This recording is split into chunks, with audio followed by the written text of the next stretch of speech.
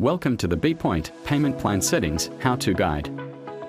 Easily create payment plans and give your customers flexibility on how they pay. First, you'll need to log into BPOINT, select Settings, then Payment Plan Settings. Select the biller code. Click Add Payment Plan option. Give your payment plan a name and a start and end date. You can offer discounts for upfront payments.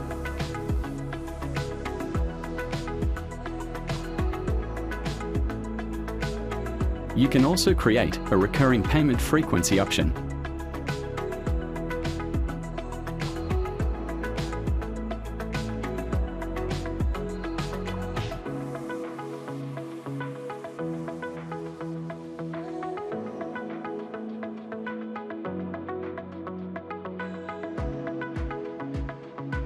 All payment plan options will be shown here.